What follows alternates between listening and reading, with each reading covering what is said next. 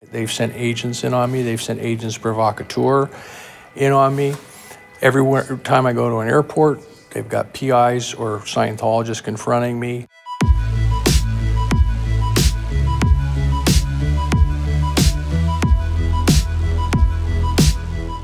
Hello, I'm Ben Shapiro, and welcome to Vice Meets. My guest today is Marty Rathbun, a former senior executive of the Church of Scientology who left the church in 2004. He's a key subject of Alex Gibney's new documentary, Going Clear Scientology and the Prison of Belief, which is being released this month through HBO Films. Someone had told me there's this cult and they'll make anything possible in your life. I was deeply convinced that we were going to save the world it was a transcendent experience. You feel euphoric. Everything you do for endless trillions of years depends on what you do with and in Scientology. They sell it all in the beginning as something quite logical.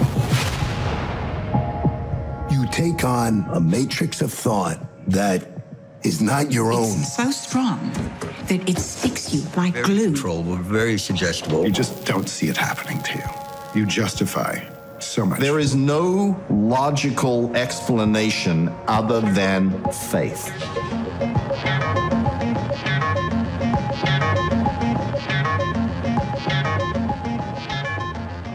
Marty, thank you so much for being with us today. Thank you. When we talk about religion, we generally are talking about things like worshiping, talking about things like maybe God, spirituality. Scientology doesn't seem to work like that. Can you just, in a very basic way, tell me what is Scientology? It's a therapy, basically. I mean, the first book was Dianetics of Modern Science of Mental Health, and that was an abreaction therapy, where if you go back and you know you go back to an earlier time and an earlier time for a particular type of upset, you get to the basic on it, and then that whole area of concern or consideration kind of dissolves and is no longer a problem. Um, Scientology was developed a few years later when Dianetics proved not to be as um, 100% workable as Hubbard you know, claimed it would be. And Scientology was a lot more loose. It was a lot more sort of mental exercises where we, we would free associate a lot more. I wouldn't just keep you on this stringent thing where I'd say, okay, go earlier, go earlier, go earlier. I'd say, tell me about women, you know, tell me more about women, okay? You know, I would, I would just open up this and so the whole thing is it capitalizes on the fact um, that was discovered by Carl Rogers. Actually, you could say it was discovered by Sigmund Freud. You probably actually say it was discovered by some ancients, you know, who never wrote it up. But when somebody really listens to somebody and treats them with unconditional positive regard, it opens you your ability to look at yourself and communicate about yourself like you never would otherwise, and you would never do with your alone with yourself. So it's a very cathartic, transcendent type of experience, and so that's the core. Okay, but here's the problem. It's not just you and that auditor, you and that counselor. It's you, me, and this massive Byzantine bureaucracy that's behind me that I'm actually working for. And so it's not unconditional positive regard. It's positive regard conditioned on you ultimately keeping my trust, which represents the trust of all these other people, including L. Ron Hubbard. And so conditions upon condition is entered in subtly and slowly. And by the end of it, it becomes literally, truly, you're now being fed this sort of whole world view, universe view, which is touched on in the documentary, which people on the outside look at and go, well, that's just batshit crazy. Um, you know, over time and over all, a lot of these little kind of little peak experiences, or as Jason Beghe put it, these little transcendent experiences, you start buying into it. You were a member of the Church of Scientology for 26 years, ultimately becoming the Inspector General for the Religious Technology Center. What does the rest of the world look like when you're so deep in that world? It looks like um, people who aren't really serious, who are really just pursuing materialistic ends, um, aren't really uh, aware or even caring enough to really see the the, the, the, deep problems uh, of the psyche and of, and of society. And, you know, and they even have a word for it. They, they, they, there's a word.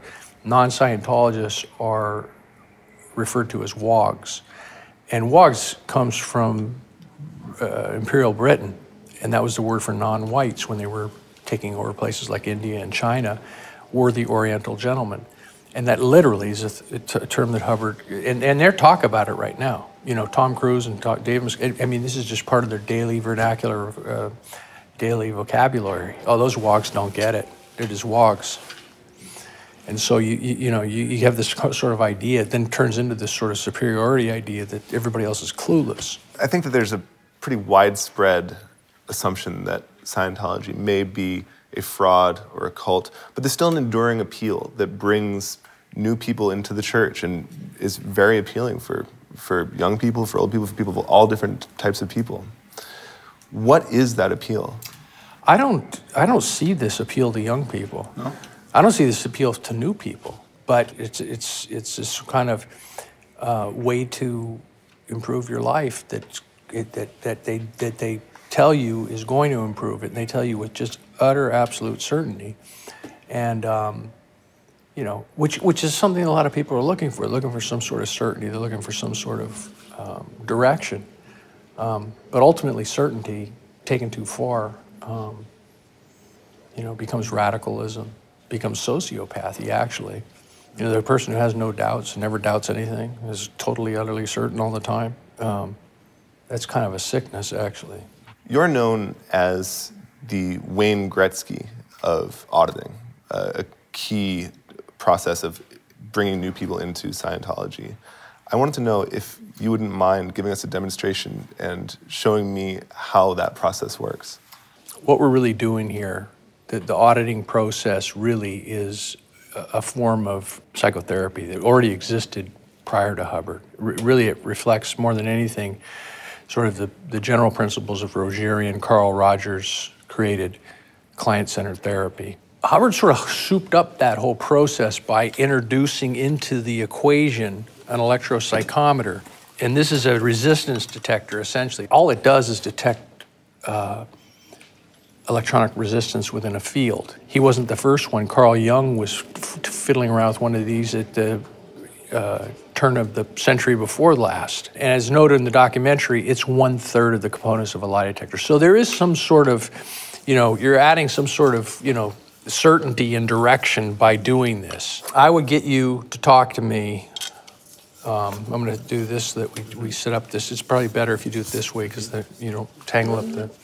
I would get us talking about different areas you might consider contain some level of stress. Such as Well, I don't know. You tell me. a level of stress. Yeah. I have some concerns about whether or not I'm doing the right thing with my life. causes me some considerable amount of stress. I want to make sure that I do the right thing. Doing the my- right thing. I want to make sure I'm doing the right thing, not just in my profession, but in my personal life, my relationships. I am getting, uh, I'm getting a movement on, you know, on that subject of doing the right thing and figuring out how to do the right thing. Um, so this would be a subject that I would take up because it shows that there's some kind of sort of stress there is connected with it. You know, a lot of times you and I might be talking, but, but nothing's reading. Um, and the, the idea with this is it reads just under your level of c- conscious awareness. And then as we got to an area where you sort of had some feeling of resolution to it, our needle would kind of just go into a floating pattern indicating there's no resistance. And, and that's essentially how, how it would, would work. You know, I said it's a one pon- component of a lie detector. Well, in fact, it's used in a very similar fashion. You know, as you go along, there's this tremendous fixation on you disclosing absolutely everything to me and having no kind of withholding. And I would use this as to assist me to get to the bottom of it. Historically, Scientology has been vehemently opposed to psychiatry and to the pharmaceutical industry. I wanted to ask you what is the perceived threat from the existence of those areas? This all began in the 50s when you had institutional psychiatry, when you had most of mental health was being sort of used, was state controlled. You know, there's a lot of different things that are posited through the lectures of Hubbard and the writing of Hubbard, but, you know, ultimately, it's all sort of bullshit because you know, I, I, I was, I'm familiar with a lecture that he did in 1952 where he was saying, you know what, I've picked psychiatry as a, as an enemy because because you need that in order to have a tight knit group. A tight knit group must have an enemy, and they're in the same line of country as us, and they're screwing up all the time. So it's a it's a it's a choice of convenience, and you know, and I think that you know he was some somewhat serious about that then. But much like the rest of Scientology, you know, in the early days and a lot of the early things he did, he had a pretty acute, interesting mind, and he had an interesting way that he melded a bunch of different things together. But the more serious he took himself, um, and that's a good example of it on this whole mental health thing. So he goes from joking about doing it just for purposes of having an enemy. 18 years later, he's writing stuff about how these people truly are evil beings who've been beamed in from another planet you know, that shows you the evolution and it shows you the danger of taking yourself seriously. He ultimately wrote very specific stuff about how psychiatrists, psychs in general, people involved in mental health at any level, psychologists, are a special breed of being who, who um, were, were bred on a planet called Farsec and they came to this planet at some point or another for one reason and one reason alone, and that mission was to keep humanity ignorant and enslaved. And so um, he wrote that in all seriousness to the highest levels of the church to sort of uh, inspire them to, to, to invest in these activities to destroy, destroy psychiatry. I don't know how you can destroy a subject, but but that's where that's where it, that's where it devolved into. I wanted to ask you about when you left the church in 2004. Uh, you moved to Texas and began um, an independent auditing program. Uh, how long did you do that for? About four years. Four years. So there was still an appeal for no, you. Not, not really. If you look no? at my webpage, and this is this is something that's been misunderstood, and it's it's it's one of the things that Scientology tried to use as a justification for harassing me and my wife. If you look at my my webpage, my blog, markrathbun.wordpress.com, my statement page, my title page, my welcome page has been the same statement I've had there since the day I went online, and I stayed in there that I draw from a number of different subjects, including Scientology, in order to help somebody get through the um, leaving Scientology experience, experiment. And so, what I was saying, though, that you know, one one of the things that I would do is I would correct what Scientology misapplied to the person. Okay, that's the first step. Beyond that, I'm I'm educating them, increasing their horizons mm-hmm. to help them kind of get move on from it. Mm-hmm.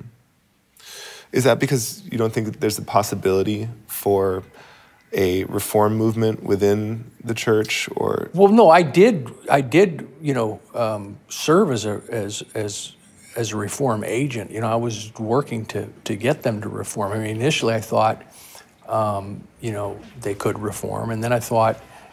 Um, and I did encourage people to go out and, and practice Scientology independently for that very reason, because I did. I studied the Reformation, the Christian Reformation. The Christian Re- Reformation wasn't a re- reorganizing of the Catholic Church. The Christian Reformation was people saying you're not the only show in town, and you're not the only. You, you don't own the, the patent and copyright to this. You know, we can take that same book and practice it the way we, we see fit. And so I did encourage that, and that there was some of that. But I got to tell you, it wasn't long before I realized that the behavior patterns um, and the, um, the, the things that create these odd behavior patterns, patterns ran much deeper than, than just you know, something that the church was doing. I saw it happening with the people on the outside. And I suggested um, real simple um, you know, I, I gave three pieces of advice. I wrote a book called What is Wrong with Scientology, and I said, in order for Scientologists to make this a viable subject in the future, and relevant at all, they're going to have to learn to integrate, they're going to have to learn to evolve, and they're going to have to learn to transcend. And you got, you got to learn to take not take yourself so seriously and look at a lot of this stuff from Hubbard as allegorical or parable, um, but if to take it literally. Um, is, is a problem. Well, that was the most, that, that was like heresy. I mean, and I'm talking about the people who are outside of the church. And I realized these guys who were even outside of the church were just as much in a prison of belief as the ones inside. And that's where I sort of, then I spent the last three or four years really deconstructing the subject and realizing how that came to be. Um, hmm. You've been speaking out about Scientology for years now, but I do think that this film is going to introduce a whole new set of people to your concerns, to the things that concern you about the movement. When you were asked to participate in the film, did you hesitate at all? Out of maybe fear of some kind of retribution? Was there anything that went through your mind? Were you concerned at all? No, this in a way, this film is sort of the culmination and the, the, the best comprehensive telling of what I've been through for the past six years. I've been talking about this, writing about it, um, you know, and, and I think the, what the what the real contribution of this film is, I think it is going to do for the media what I've done with former members. You know, I, I- said from the beginning to the former members, when enough of you stand up and stop kowtowing to their to their abusive sort of terroristic kind of policies, you're going to hit a tipping point where nobody will they can't keep up with all that. They've only got so many resources. They operate like organized crime. They go make an example of somebody and then tell everybody else, "Look, it, you all need to be afraid of us. You all need to shut up." The media has been like been like that to quite an extent. Alex and HBO are the first ones, major, credible ones that have done a comprehensive piece like this, chronicling all this, that did not kowtow to Scientology. They did. They they did not um, submit to Scientology controlling the cycle and spinning it and influencing it, and you know what I'm saying. And um, and that's why I think it's significant. What kind of harassment have you been the target of following the types of, uh, of, of reports that you've been releasing? Well, you know, a lot of it's chronicled in the film. They've sent agents in on me. They've sent agents provocateur in on me. Everywhere every time I go to an airport, they've got PIs or Scientologists confronting me. And then, of course, for an extended period of time, they they've just parked right in front of our house. And every time my wife and I leave, they've been in our face with cameras. Who is David Miscavige, and can you describe your relationship with him? he was a, a messenger for Hubbard, which was sort of this a group of teenagers, sons and daughters of Scientologists that were in the priesthood, who, Hubbard was grooming uh, as to be leaders. Um, and he was the most sort of aggressive, most you know loyal to Hubbard of, of the lot. So it was no uh, surprise that he rose to the top amongst them and he was picked by Hubbard to lead this whole defense of, of the church. And, and, and when I first worked with him in the early 80s, um, you know, I sort of considered that I was working with a guy who was, you know, kind of felt like I was working for the underdog. Um, and, um, and, and, and frankly, when we were in that role, uh, he was a lot more agreeable, a lot more, you know, decent to work with. But as time went on, he, begot, he began to get control and power. Hubbard died, then he had another power struggle with another, and he got complete control. Then absolute power, absolutely corrupted. And I watched this, this dwindling, dwindling spiral of the guy. Became increasingly uh, motivated by wanting to be in the inner circle with this whole celebrity, life of the rich and famous clique obsessed with his own image, paranoid beyond belief, creating group confessions to get to the bottom of what kind of intentions lurk, might be lurking within the ranks against him. I mean, like Stalin-esque type of stuff. And so it was a, and so I, I witnessed the whole sort of bell curve, you know, his rise and fall. What are some of these abuses that Scientology has committed against its members? They have to do with breaking up families. They have to do with making people work for, or inducing them to work long hours for no, no pay, cutting them off from the outside world so they're not evolving and staying in tune with the way the world's progressing. Um, and then, but and and and, and, and incidentally, you know, and this is where you know I I, I I can speak more from firsthand knowledge, and also I think it's more relevant to the outside world. Um, you know, they, they take they go to extreme measures to, as I've described, to silence dissent or to or to silence criticism. Um, and I think that's what what people should focus on more than anything. What they do within their four walls. This is America. You know, you could worship the dollar, and you you know, and you're you're okay. Once they step out of those four walls and they start hounding and hunting and terrorizing people, then, they're not privileged to do that. And that should, they should go under the microscope, and they should be, and there should be uh, action by, by, by, by the authorities that be. I don't plan on on joining any religious group. Why should I be concerned? Is there anything that could negatively affect me about the existence of Scientology? Or is it really just Not necessarily. I, in fact, that's what I said. I mean, there's all these people saying all this stuff. I'm not on the. I'm not. I'm not. A, I'm not part of the pack. But they're saying they're going to lose their exemption. Tom Cruise is going to be shamed into leaving. I don't know about any of that. I think. I think what it does is it's, it's, it does a great service to inform people what the consequences are of being involved in it. And I think that's as much as you could ask for. And, and that's what I think it does. I think it's the best thing that's ever been done along that line. You know, Scientology can't compete in the marketplace of ideas when it's a level playing field. He just leveled the playing field by saying, I'm not going to be intimidated by you to let you rewrite or edit what I do. I'm going to take a look from people who actually know and, um, and put it out there. Well, anyway, Marty, thank you so much for joining us today. All right, thanks for having me. Take All care. right.